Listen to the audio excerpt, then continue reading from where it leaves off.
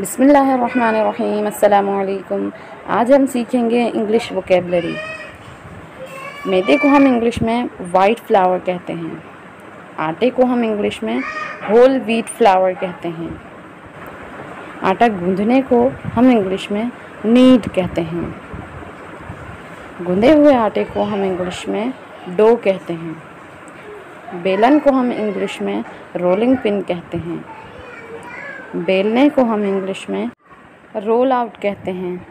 अगर हमारी वीडियो अच्छी लगी हो तो लाइक कीजिए।